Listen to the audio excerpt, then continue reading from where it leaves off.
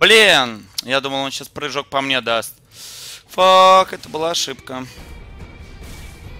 Я был абсолютно уверен, что он даст сейчас прыжок по мне, и тогда было бы все круто.